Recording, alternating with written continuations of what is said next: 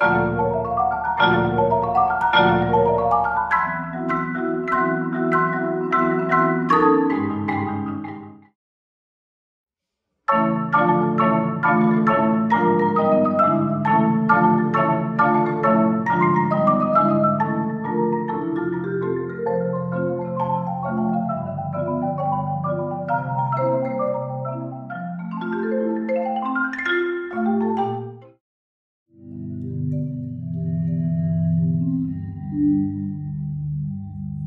Hi,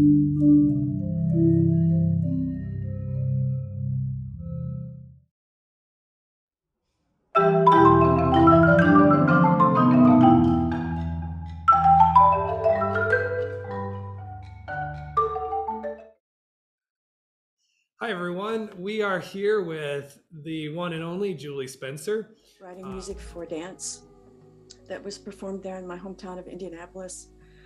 And then um, going to Eastman, I studied classical percussion, uh, but uh, John Beck.